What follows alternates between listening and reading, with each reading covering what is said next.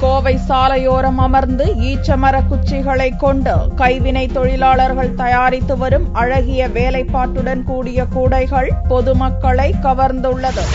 கோவை தேசிய நெடுஞ்சாலையோரம் காய்ந்து போன மரக்கிளைகளின் கீழே அமர்ந்து பலவிதமான ஈச்சமரக் கூடைகளை செய்து வருகின்றனர். ஆந்திர மாநிலத்தைச் சேர்ந்த கைவினை தொழிலாளர்கள் பார்ப்போரை பரவசப்படுத்தும் விதமாக பூச்சாடிகள் மின்விளக்கு கூடு பல்வேறு அளவுகளில் தயாரிக்கப்பட்டுள்ள கூடைகள் குழந்தைகள் உறங்கும் தொட்டில்கள் என பல்வேறு பொருட்களை இந்த தொழிலாளர்கள் செய்கின்றனர். ஆந்திர மாநிலத்திலிருந்து ஈச்சமரக் குச்சிகளை கொண்டு வந்து அதை காய வைத்து கூடைகளை தயாரிக்கின்றனர். இந்த கைவினை கலைஞர்கள் உருவாக்கிய பல பலவிதமான கூடைகள் அங்குள்ள மரத்தில் கட்டி தொங்கவிட்டிருப்பதை பார்த்தால் பறவைகள் கூடு கட்டியிருப்பதை போன்று ரம்மியமாக காட்சியளிக்கிறது. சாலையில் வாகனங்களில் செல்பவர்கள் நின்று ஒரு நிமிடம் இந்த பொருட்களை பார்த்து ரசித்துவிட்டு செல்வதோடு ஆர்வமாக வாங்கிச் செல்கின்றனர். தமிழகம் மட்டுமின்றி கர்நாடகா கேரளா என ஒவ்வொரு மாநிலத்திற்கும் சென்று அங்கு தங்கியிருந்து இதுபோன்ற பொருட்களை செய்து விற்பனை செய்து வருவதாக தொழிலாளர்கள் கூறினர். எல்லா ஊருக்கு போவோம். கர்நாடகா போவோம்.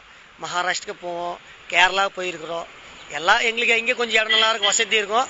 அங்கே உட்காந்து ஒரு மாசம் ரெண்டு மாசம் ஒரு வருஷம் ரெண்டு வருஷம் நல்லா இருந்தால் அஞ்சு வருஷம் கூட இருந்தோம். இந்த கூட வந்து ஐம்பது ரூபாயிலே ஆரம்பிச்சு ஐம்பது ரூபாயிலேருந்து சோறு போ போடுறதுக்கு கூட இருக்கு. இந்த தக்காளி சாமான் போடுறதுக்கு கூட இருக்குது. அது ஐம்பது ரூபாய் ஸ்டார்டிங் பண்ணி நூறுரூவா இரநூறுபா முந்நூறுபா நானூறுபா ஐநூறுபா ஆயிரம் ரூபாய் ரெண்டாயிரம் ரூபாய் கூட கூட செய்வோம். இதோ இது வந்து பழைய காலத்து மாடல் டிசைன் தானே? இது சில பேர் பார்த்தனா உடுமாட்ட பிடிச்சானா வாங்கிட்டு போவாங்க.